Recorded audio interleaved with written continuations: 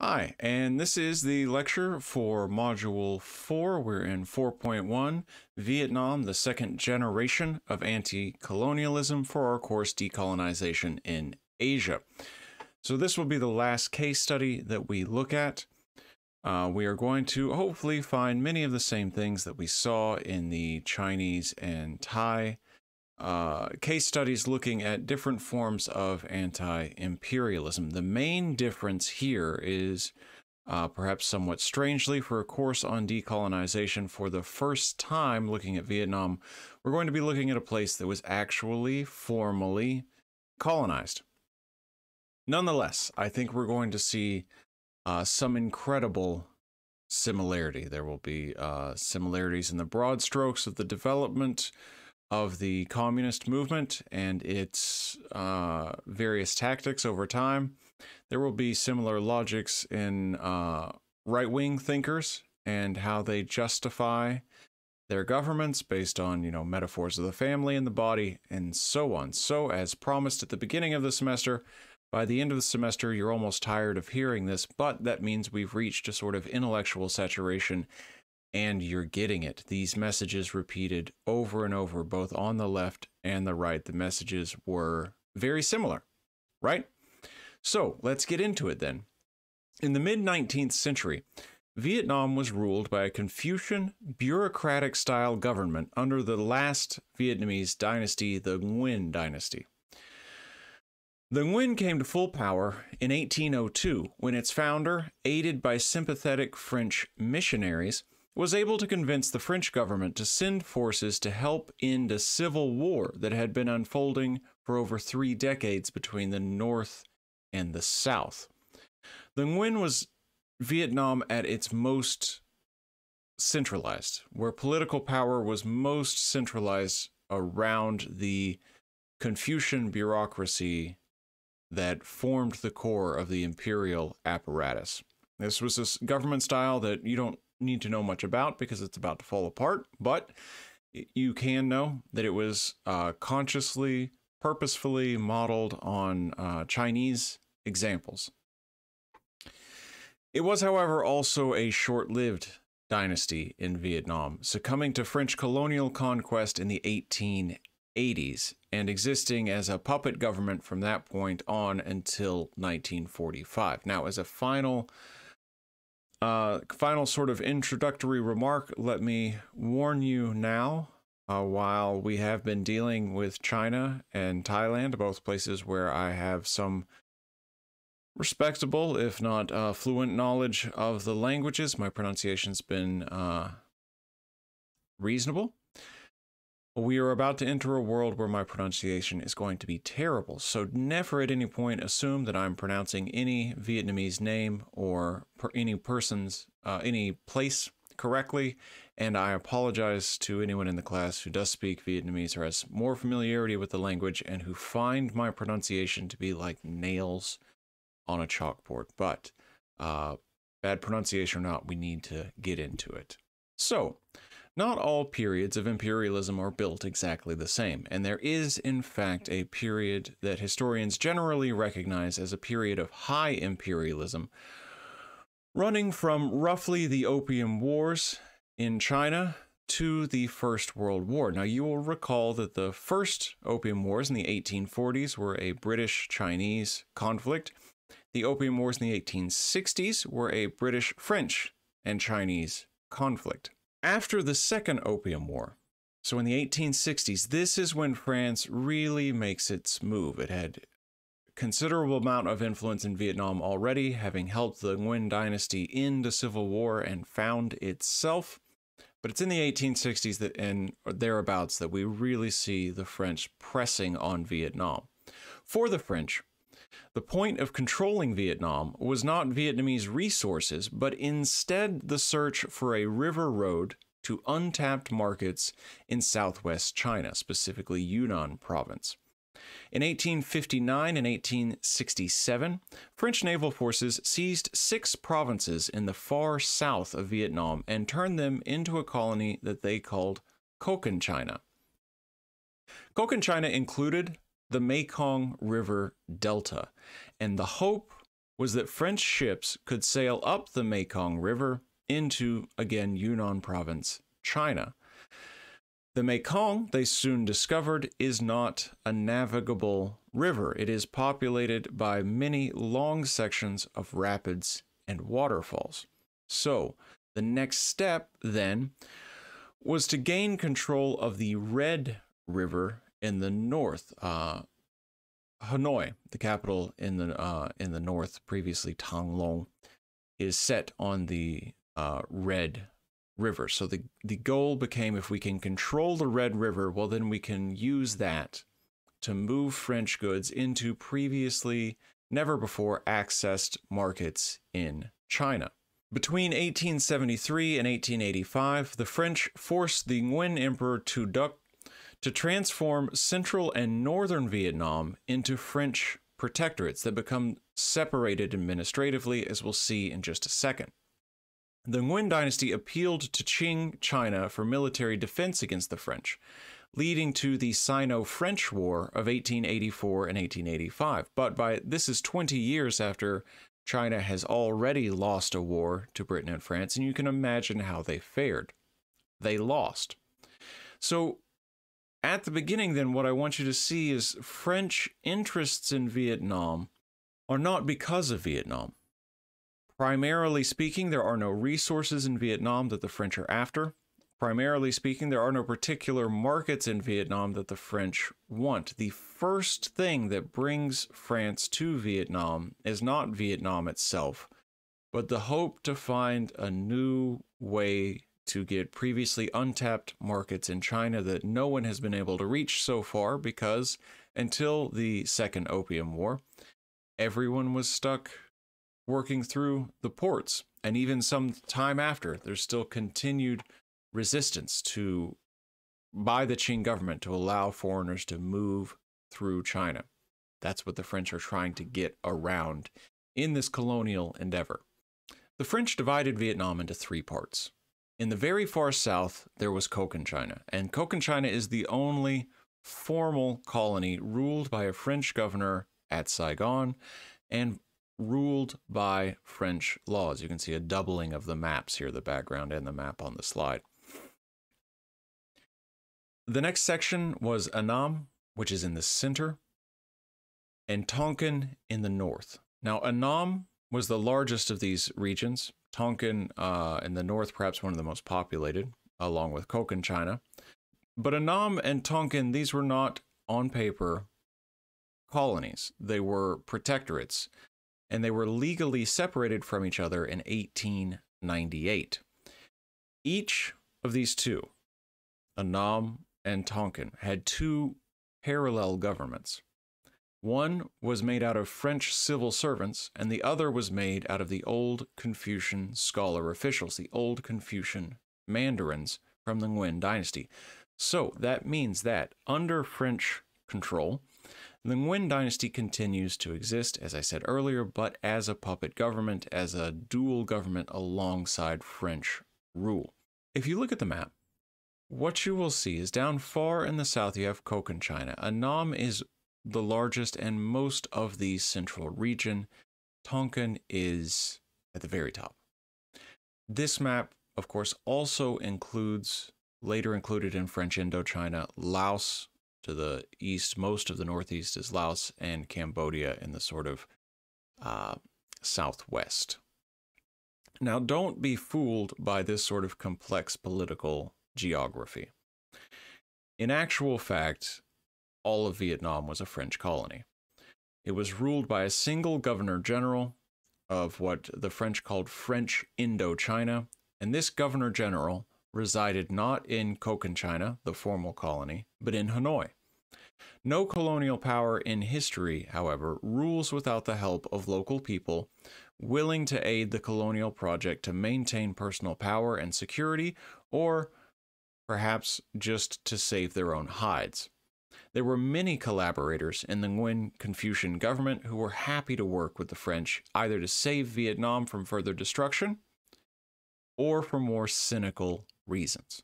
So, anti colonialism in Vietnam is going to follow a very similar path to what we have seen in both China and Thailand, both in the terms of the time periods it comes up and the sort of ways the thought develops.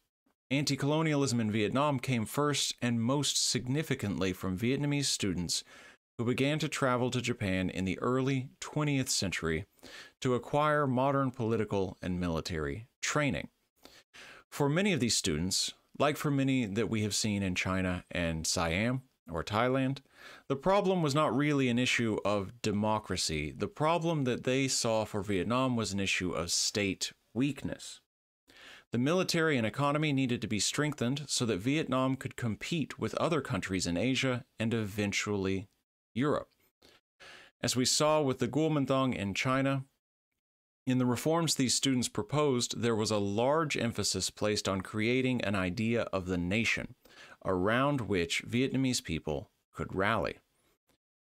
In 1925, one famous reformer, Phan Chau Trinh, pictured here, wrote that the Vietnamese people still, quote, know only their family and do not know their country.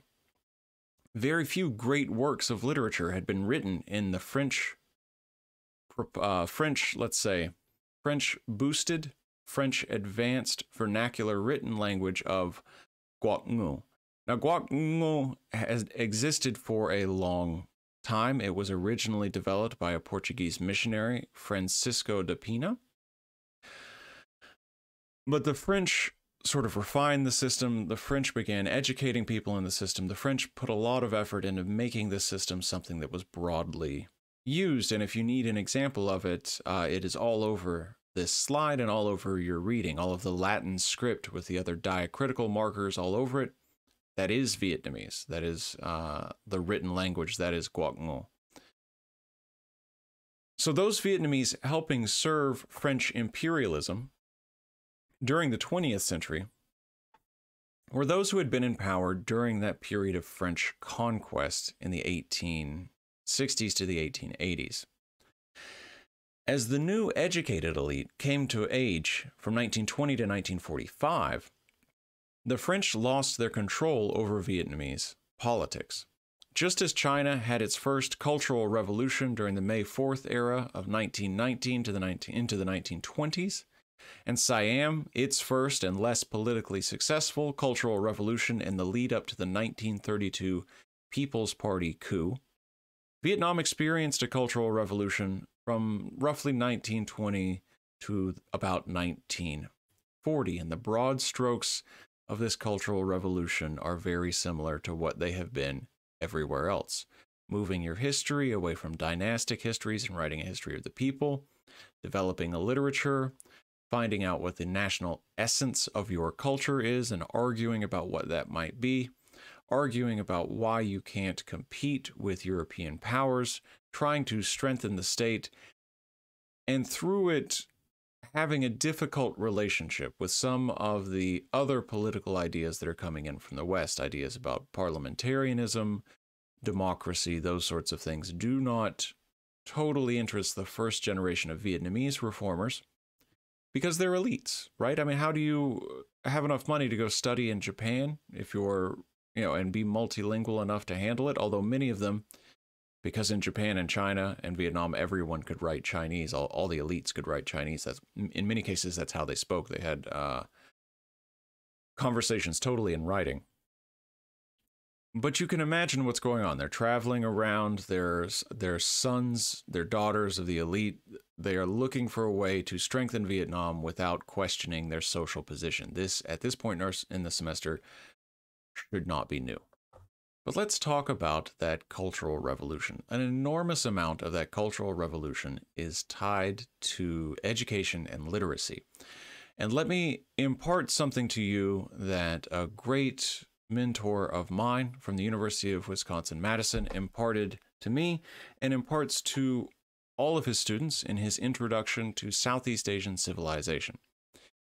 If you ever find yourself in the position that you are the governor general or an overseas minister in a classical imperialist apparatus, right? If you if you are running a colony do yourself a favor and don't teach anyone how to read.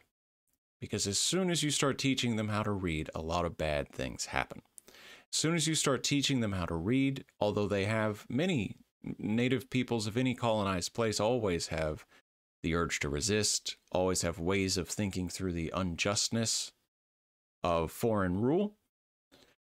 It's nonetheless the case that all these ideas about liberty, equality, fraternity, or solidarity, at this time it would be fraternity, that the French propose for themselves.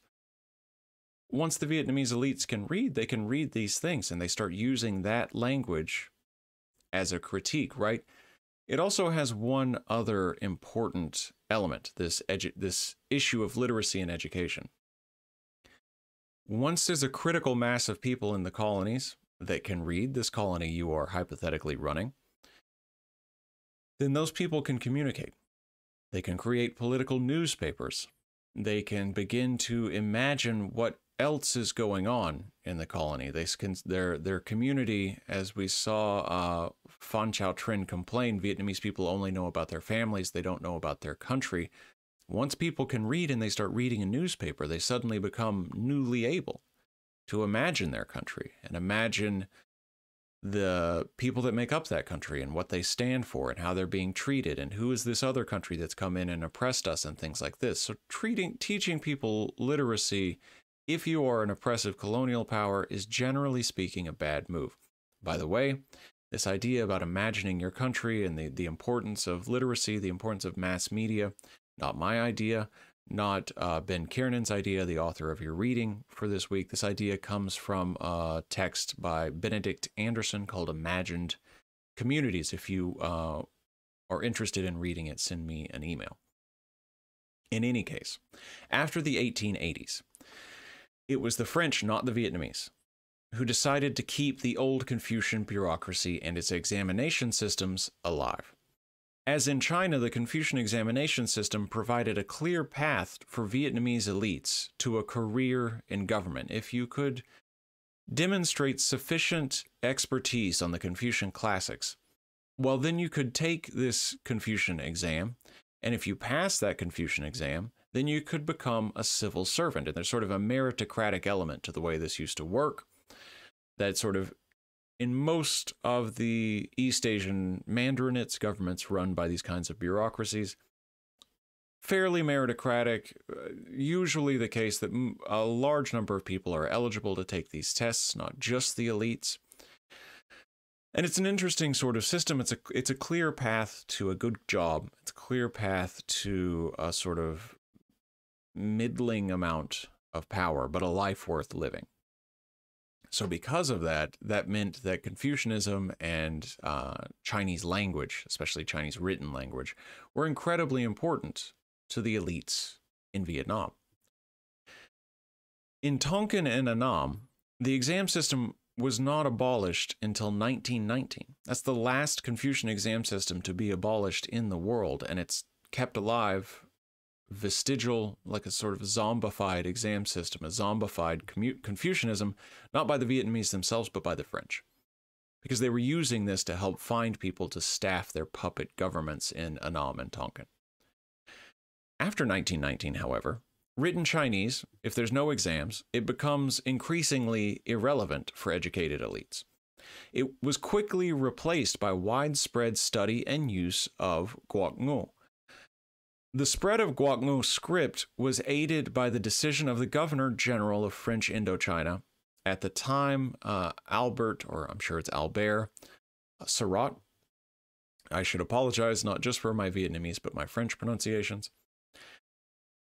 The Governor General decided to stop charging tuition for the first six years of primary school, so it becomes genuinely public school, genuinely free. Literacy increased as enrollment grew from less than 5,000 in 1910 to more than 39,000 in Tonkin alone in 1920. The total number of enrolled students nationwide that year was 123,000. Through further reforms by French rulers, this figure reached 435,000 in 1930, including roughly 40,000 female pupils and unknown, but we can guess probably similarly large numbers of young women and girls who were studying how to read uh, the new written script unofficially at home. By 1938, perhaps as many as 1.2 million Vietnamese children had enough education that they could read their native language written in Quoc Ngữ. By 1939, a full 10% of the Vietnamese population was able to read a newspaper. All of this was creating a cultural frame for educated elites who, as I said at the beginning of this slide, were coming of age in a period where Chinese and Chinese traditions were far less important in imagining what it meant to be Vietnamese. The spread of literacy meant an increased audience for newspapers, for political pamphlets, for novels, all written in Quoc Ngữ. The new literature no longer was interested in traditional themes of Confucian virtue and focused instead on things we might consider quite modern, modern modern forms of romance. It was literature about economics, it was literature about social problems, and it was literature that celebrated or sometimes condemned Vietnamese culture. What really mattered, however, was that widespread literacy and the growth of a print media industry meant that increasingly more Vietnamese people were able to read about the same events or the same ideas at the same time throughout the country. They were able to join to varying extents a national discourse for the first time on what Vietnam was and what it should be. Even if many people helping produce that discourse disagreed with one another, they were at least now all speaking the same language and having the conversation through massive print media at roughly the same time. The new literacy, combined with the new irrelevance of Confucianism, sparked a wave of publications promoting religious worldviews in Vietnam. Most notably, Buddhism, which in Vietnam is a mix of Mahayana coming from China and Theravada Buddhism coming in through Laos, Cambodia, Thailand. And on the other hand, Catholicism, a product of French rule. Progressive, nationalists, and conservative examples can be found in the literature now being produced by organizations of both sets of religions, Buddhism and Catholicism. But in either case, their messages were spreading. Catholics argued that they could be both Christian and patriotic Vietnamese at the same time, while Buddhism was experiencing a significant revival. The most significant religious development of the period, however, was the emergence of the Cao Dai sect in Cochinchina in the 1920s. The Cao Dai sect was founded among groups of educated mid level Vietnamese civil servants who held both rural and urban posts. It drew on Vietnamese interpretations of Taoism, a Buddhist message of salvation, secret society rituals introduced by overseas Chinese, the organizational structure of Catholicism, and French interests at the time in Spiritism and seances and sort of communing with the dead and things like that, all of which were popular in and around Saigon. Now, Cao Dai was founded by Ngo Van Chieu, who grew up in the Mekong Delta, where Cochinchina is, of course, and attended French schools and joined the civil service, so joined the government apparatus in 1899. At temple seances in, eight, in 1918 and 1920, he claimed to have made contact with a spirit that he called Cao Dai Tien Ong, His Excellency the Immortal. Cao Dai itself is a Taoist term, and what it means is supreme being. Ngo Van Chieu then befriended a high level member of a Taoist sect in the Delta the Minsu, and became a vegetarian and became an adept of the spirit of Cao Dai. Soon he adopted the great eye as the symbol of the new religion, and you cannot. I wanted to show the grandeur of the Cao Dai Temple, which still stands. You can go see it if you want to. If you go to Vietnam, go to Saigon. Easy to find someone to take you out to see this temple, and it is absolutely lovely. When we return to class, I will show you uh, the picture of the eye. It looks very much like the eye on the top of a pyramid on the uh, back of a, the US $1 bill. Anyway, it's lovely. So Chu's ideas and the ideas of the Minsu Taoist sect with which he was associated spread among Vietnamese civil servants until, in 1926, the most senior colonial official among the new believers, Le Van Trung, began formally organizing the movement. By May 1926, Trung officially became the, the leader of the Cao Dai movement. Trung gained permission from the colonial government to establish 20 Cao Dai oratories, churches, in Cochin-China and began a petition for the official recognition of the new religion. The sect built its main temple northwest of Saigon in Tay Ninh, where Trung became pope and a hierarchy of bishops, cardinals, and priests was established underneath him. The new church's pantheon included a wide range of people. You might guess the Buddha is there. You might guess Confucius, Lao Tzu, the founder of Taoism, are there. No problem so far. But also Moses, also Jesus, Muhammad, Victor Hugo, William Shakespeare, Julius Caesar, and China's uh, nationalist uh, icon, Sun Yat sen. These are all also saints in the Cao Dai pantheon. By 1928, Cao Dai had 200,000 believers. By 1930, this figure increased to 500,000, including many Khmer people, the dominant ethnicity in Cambodia. Our reading from the Kiernan gives a few different reasons why the sect might have been so successful. On the one hand, it emerged in a religious vacuum. Chinese Confucianism had been removed, Catholicism was seen as a religion of the oppressors, and Buddhist organizations, although they were experiencing a bit of a revival, had been on the decline for quite a long time. Thus, Cao Dai may have answered a need for some sort of salvation story and a higher calling among the peasants in the Delta. On the other hand, Cao Dai was remarkably organized despite falling outs between different congregations, different oratories. Members could join collective farming programs or take jobs in handicrafts and small scale manufacturing. Cao Dai also offered hospital services and schooling, serving over 20,000 students in that main branch pictured here in Tainan. Ninh. Cao Dai's Office of Social Services employed 6,000 workers on three rubber plantations. It employed 100 public enterprises and it employed people in its hospitals. No other organization in Cochin-China could claim to bring that much benefit to the region and claim that kind of organizational stability. So there are both, we can say, uh, spiritual or yeah, ideational reasons that Cao Dai might have become so influential. There are also material reasons. People need to eat, people need to work, those kinds of things to help explain why this religion that seems uh, so wonderfully eclectic and weird absolutely took off in the 1920s in southern Vietnam. In 1919, we finally get our first Vietnamese run political party, and you might imagine it is not a very radically progressive party.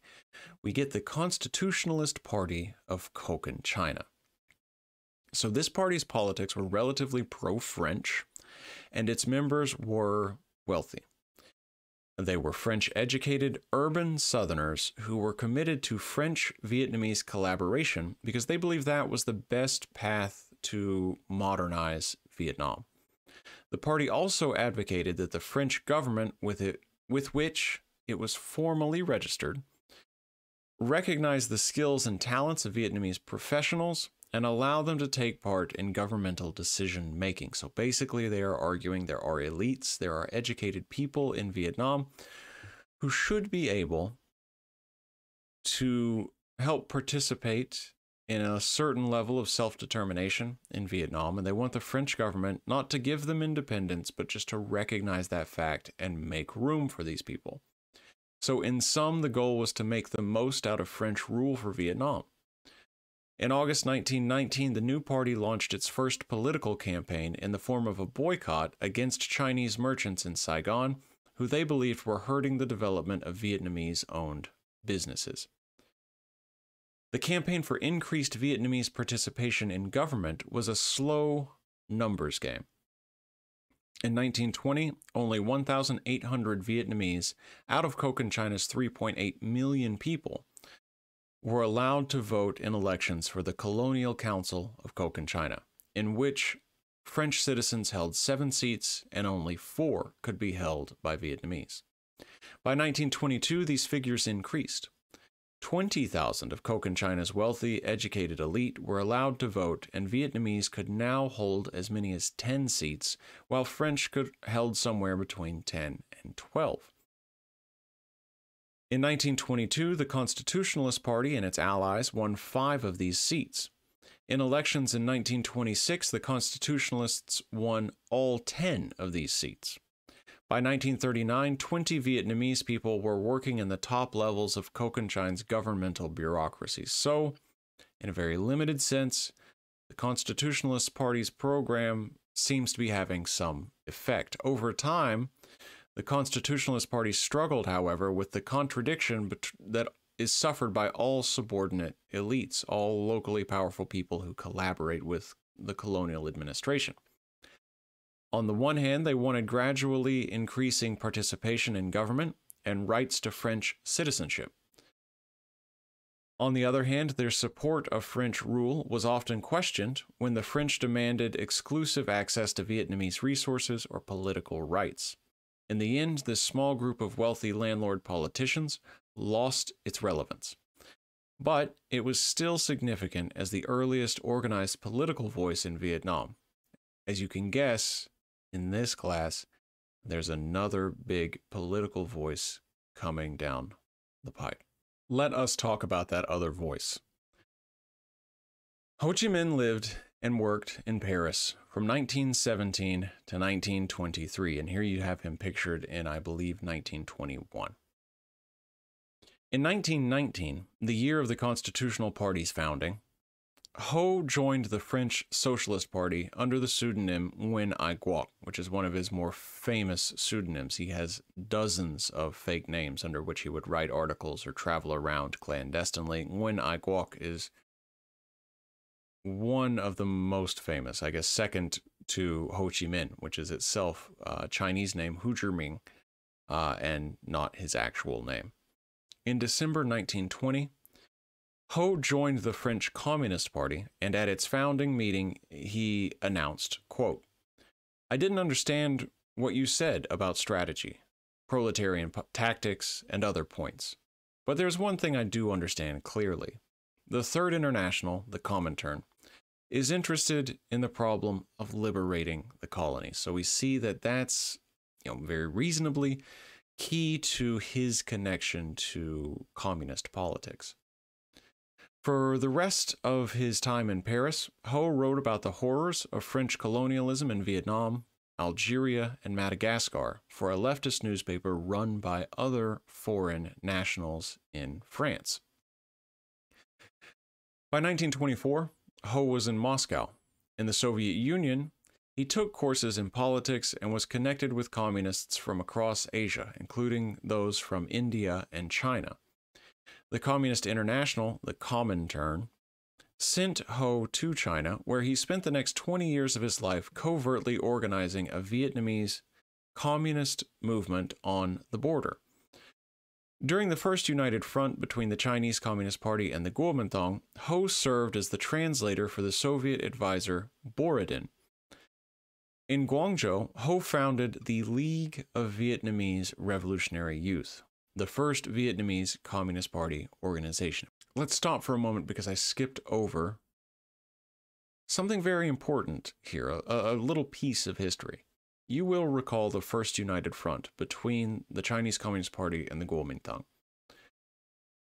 Ho's first position in China was to act as a translator between Soviet advisors like Borodin and this united front, largely, you know, dealing perhaps in his politics with the CCP, but working directly with uh, Chiang Kai shek, and the Kuomintang. So there's a deep Chinese connection here running fairly far back. You will also recall that this place, that the Kuomintang were centered in Guangzhou, and that in Guangzhou is exactly where Ho Chi Minh founds his first communi- communist organization. I just mentioned the League of Vietnamese Revolutionary Youth. So, China connection very deep. We will see more examples of that as we move forward. The next step after founding this League of Vietnamese Revolutionary Youth was to begin training members of the new organization. From 1925 to 1927, Ho Chi Minh and his Revolutionary Youth Party brought roughly 300 Vietnamese activists to southern China for training. Some even went to Huangpu or Whampoa Academy. Most received training in communist theory and organizing methods, and were then returned to Vietnam to help build the movement among workers and peasants. Some of the graduates from this training helped establish the first labor union in Tonkin. Members of the ethnic minority groups Thai and Nung in northern Vietnam also joined the effort, training in China and then returning to organize rural upland ethnic minority people to the Vietnamese communist cause. Still others went on to study further in the Soviet Union. The opportunity for training in China, however, came to an end in 1927, and you know exactly why because of Chiang Kai shek's White Terror. Ho escaped to Moscow himself, eventually returning to Southeast Asia through Siam. In the late 1920s, Ho's movement began suffering splits. A decidedly less radical organization called the New Vietnam Revolutionary Party approached Ho's group about an alliance, but they were rejected. In 1929, a breakaway group, calling themselves the Indochina Communist Party, emerged and incorporated all of the communists operating in Tonkin and Annam. Still another group emerged called Annamese Communism, with 400 members and 800 probationary members. In October 1929, the Comintern ordered an end to the factionalism and sent Ho Chi Minh back to southern China to work out a solution. On February 3, 1930, in Hong Kong, Ho held a secret meeting that finally combined all these groups under the same name, the Vietnamese Communist Party. The only remaining popular competition, uh, the Vietnamese Nationalist Party, was founded in 1927 and was modeled on the Kuomintang in China. It gained some popularity in Tonkin and tried to launch a revolt in February of 1930. The action, however, was a failure and the group's leaders were arrested. The key organizers were publicly executed in June of 1930, and the Nationalist Party, although it continues to exist, never really recovered. The event fueled mass unrest among the Vietnamese peasantry. From April 1930 to November 1931, a sustained revolt erupted. In over 500 rural demonstrations, peasants took over land and rice stores across Vietnam. Over 100 workers' strikes occurred in support of the peasant movement. As peasants focused the violence on landlords, Catholics, and French citizens, the new Vietnamese Communist Party sought a way to lead the movement often succeeding.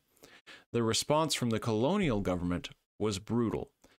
In September 1930, French led troops and aircraft killed almost 200 peasants in a single clash. The killing continued further into the hundreds once the French were back in control. 9,000 suspected uh, of participating in these revolts were arrested, and in central Vietnam, another 3,000 peasants were killed in reprisals for the revolt. In southern Annam, a 30 year old Catholic mandarin from the city of Hue, named Ngo Dinh Diem, acted as police chief while suppressing the peasant movement in Ninh Thuan province. For his ruthlessness, the French administration promoted him uh, to chief over the much larger police force in the much larger province of Binh Thuan. Remember his name, Ngo Dinh Diem, although that seems like a non sequitur here, we're going to come back to him. During the revolt, the Comintern ordered the changing of the Vietnamese Communist Party's name to the Indo-Chinese Communist Party, and their flag is pictured here on our slide, which was designed to reflect the goal of liberating Laos and Cambodia in addition to Vietnam, although participation by Lao and Cambodian communists in this organization was, although it existed, it was very small. In 1931, one French police commissioner reported that six out of every 10 peasants in Nghệ An and Ha Tinh provinces had either joined the ICP or one of its peasant associations. In October 1930, the ICP met in Saigon for its first plenum. It faced a problem. In Nghệ An and Ha Tinh, the provinces circled on our previous slide, Peasant revolutionaries had already begun establishing Soviets, the kind of organizations that we saw established in the early 1930s in China with the Jiangxi Soviet. The ICP, however, or its Central Committee, firmly believed that the time was not right because they were not organizationally strong enough and they were not well armed enough to maintain and protect these new Soviets. The ICP didn't start the revolt of 1930 and 1931, but they did succeed in using it as an opportunity to become the leaders of the Vietnamese liberation movement. During this time, the only place where the ICP was in charge or beginning the peasant revolts was in Cochinchina, and it was there that the revolt was most extensive. At the ICP's second plenum in March 1931, the French police succeeded in apprehending one Central Committee member, and in the coming months, nearly all of the top leadership, including three future party secretaries general, Truong Chinh, Le Duan, and Nguyen Van Linh. Ho was arrested in Hong Kong then in June 1931, but he managed to escape British custody and eventually traveled to Moscow and then from Moscow to Mao Zedong's revolutionary base at Yan'an, while the future of the ICP remained uncertain for the remainder of the 1930s. And now Yan'an has become a very significant revolutionary hub for uh, most of Asia. It is not just the CCP who are at Yan'an building their organization. Mao is writing all of his sort of more important texts on practice, on contradiction, and so forth. Also, we have Ho Chi Minh traveling through Yan'an, connecting with the CCP, watching them organize, building his own ideas. Also, if you recall from the Reynolds and Lisa article, there was a very famous CPT member, Udom Srisuwan, author of Thailand, a Semi-Colony.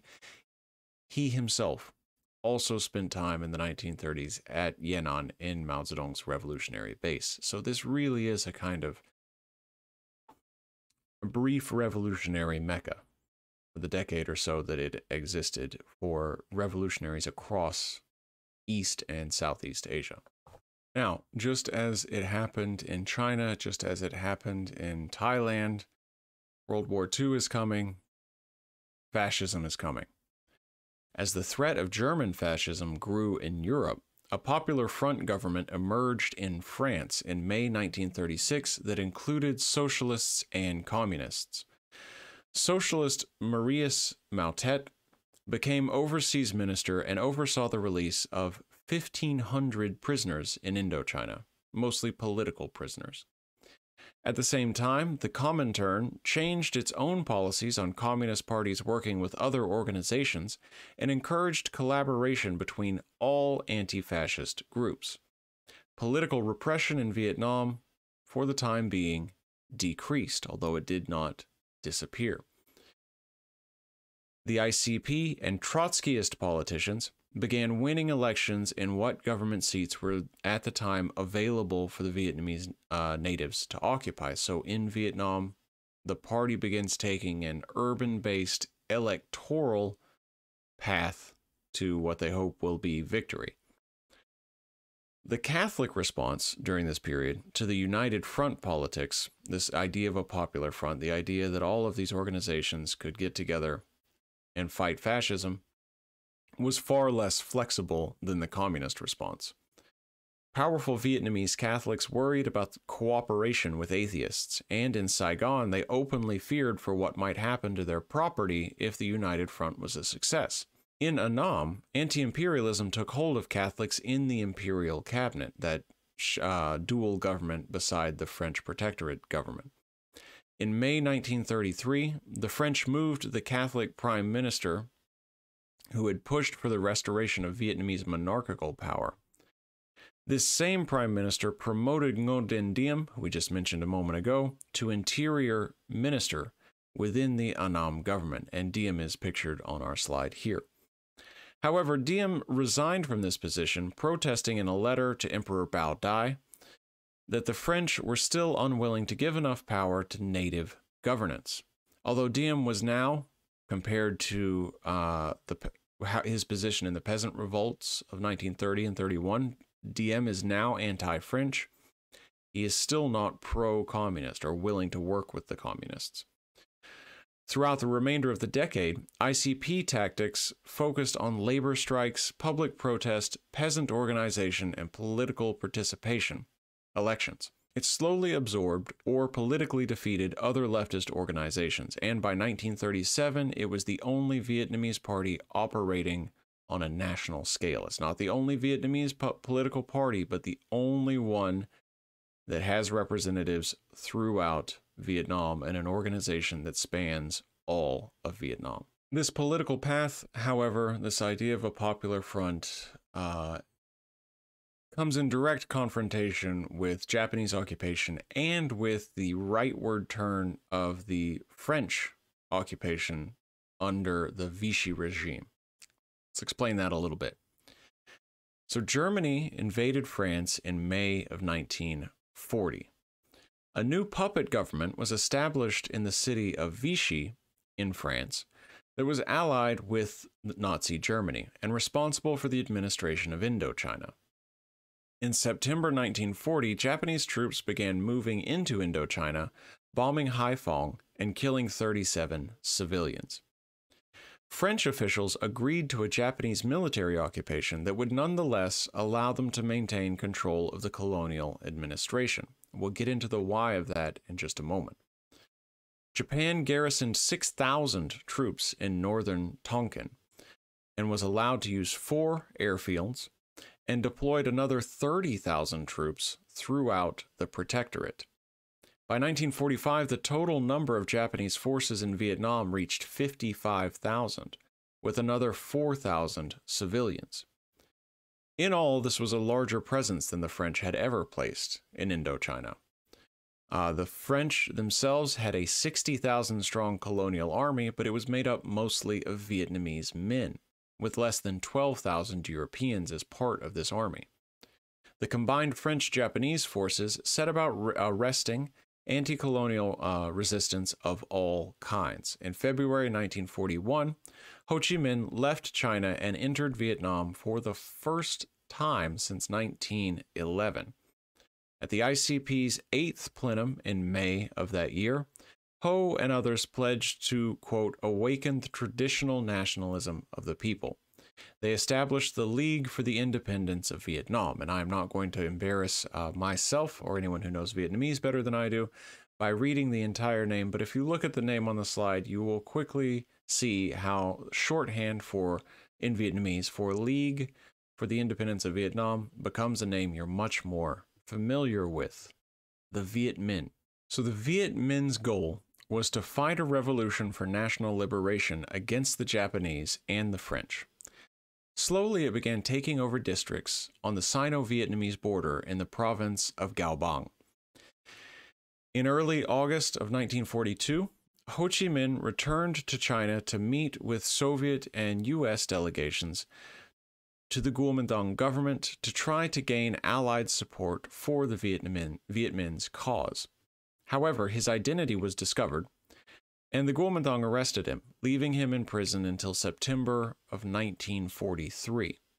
Eventually, Ho convinced the Kuomintang that he could act as a source of information on Indochina, and he was released after agreeing to join a rival Vietnamese independent movement independence movement. In March 1944, Ho was finally allowed to travel after U.S. officials negotiated with the Kuomintang on his behalf. By the summer of 44, Ho Chi Minh was working with American organizations on propaganda activities in Vietnam.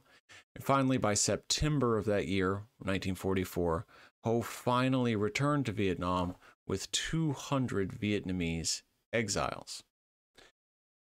The Japanese occupied Vietnam, and this gets to the why are the French and Japanese willing to govern together.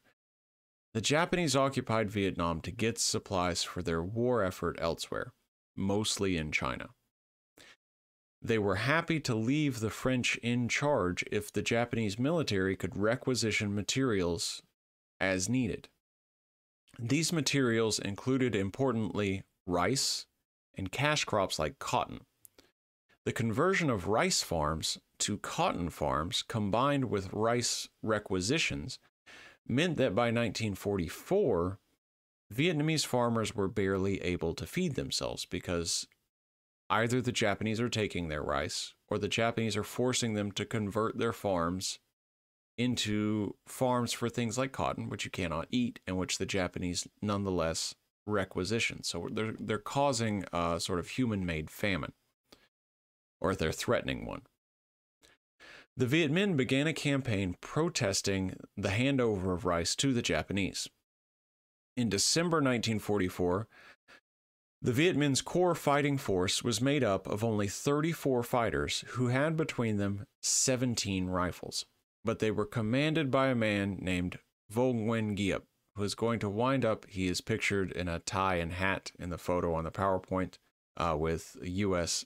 OSS officers.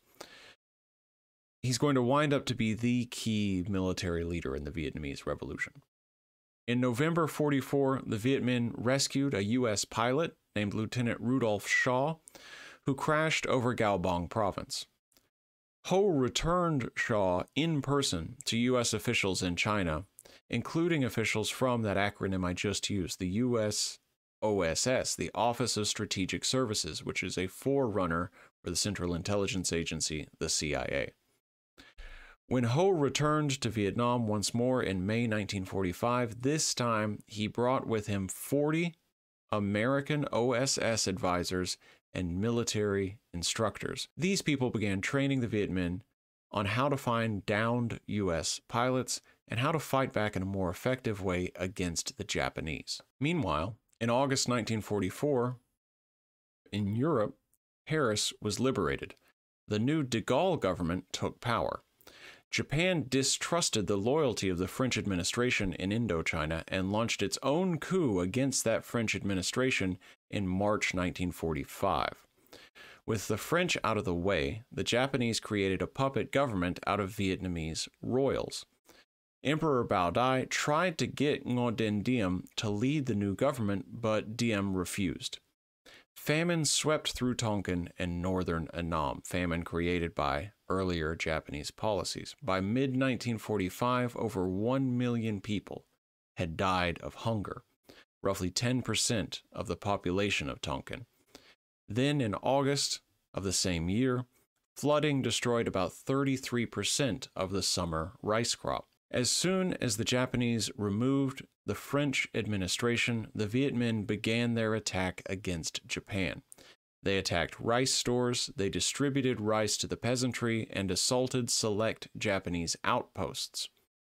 Soon the Japanese abandoned six provinces in northern Tonkin, leaving them for Viet Minh to control. Viet Minh attacks against the Japanese were small and measured. The biggest single assault on July 16, 1945, resulted in the deaths of only seven Japanese troops and the capture of one major. After the battle, U.S. forces parachuted in to show the Viet Minh how to use the weapons they had captured from the Japanese. Most of the Viet Minh's work went into organizing. By July 1945, they were estimated to have recruited 150,000 people in Tonkin, 20,000 people in Annam, and 10,000 people in Cochinchina. The ICP had grown to 5,000 members, but only 60 of these members were in Hanoi. They, uh, there were, in addition, 600 Viet Minh in the city, but they, between them, had only a total of 80 rifles. On August 13, the Viet Minh got word that the Japanese had surrendered. They moved quickly and capitalized on the fruits of their years of organizing. As the Japanese surrendered town and countryside, local Viet Minh committees came in to take over governance. Although the number of ICP and Viet Minh members in Hanoi were small, the smoothness of their takeover and the lack of violence was only possible because most Vietnamese people at this point in the war now saw them as the only leading group uh, trying to advance Vietnamese independence and the only group with a plan on how to handle the Japanese caused famine. By August 19, the ICP and Viet Minh controlled Hanoi. By August 23, they controlled the old imperial capital at Hue. By August 25, they controlled Saigon. The whole country was now under Viet Minh control, prompting Emperor Bao Dai to abdicate the throne. On September 2nd, Ho Chi Minh proclaimed the establishment of the Democratic Republic of Vietnam and issued its Declaration of Independence. Japanese surrender was officially handled by the Kuomintang in the north, that is in Annam and Tonkin, and by the British in the south, that is in Cochinchina. Neither power wanted the ICP to take control of Vietnam. The Kuomintang did not want a CCP ally on its southern border, while the British feared that an independent Vietnam would spark revolutions in its own colonies. The Viet Minh themselves worked quickly to establish a police force and the structures for a new parliament. This period, so between August 1945 and March 1946, saw several political assassinations by Viet Minh groups against rival leftist and right wing leaders. But Ho Chi Minh also gave rival parties 70 out of a total of 400 seats to be decided in the new parliament. In November 1945, under Kuomintang pressure, Ho officially disbanded the ICP, which really meant that the ICP continued to exist but just underground. In the South, the British were firmer in their opposition to any native Vietnamese rule. As French forces began to return to Cochinchina, they worked with the British to drive the Viet Minh out of Saigon. By March 1946, Ho negotiated the withdrawal of 100,000 Kuomintang troops in exchange for the return of 15,000 French troops. The French refused to allow Cochinchina to join the Democratic Republic of Vietnam, but they agreed to withdraw themselves from the DRV by 1952 and begin negotiations on the relationship between France and Vietnam. By October, French forces had increased to 75,000 troops. Meanwhile, a similar buildup was occurring on the Vietnamese side. The Democratic Republic of Vietnam now had 50,000 troops and regional guerrilla forces, and the ICP's political cadres had grown to roughly the same size. Throughout this period, Ho's hope was that the work that he and the ICP had done with the United States during the war would prompt American leaders to support Vietnamese independence. He was wrong. Instead, Washington preferred French control over Indochina. On November 23, 1946, four French warships attacked Haiphong, killing thousands of civilians. As the French advanced, the Viet Minh began their counterattacks in December.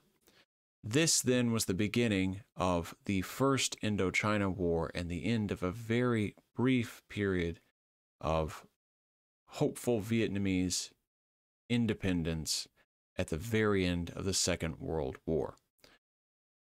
Unlike previous anti colonial efforts in Vietnam, however, this time the Vietnamese had an established state and an army that they could use in the war itself and that would both of which would develop and build in the war itself. Then as in China, we will find out war strengthened the party both in terms of its discipline, in terms of its organizational skill. So when we pick up next time, we will look at both the first and second Indochina wars, that is the war between France and Vietnam, and then the war between the US and Vietnam. So we will go from 1946 until 1975. and I will see you in that video. Thanks.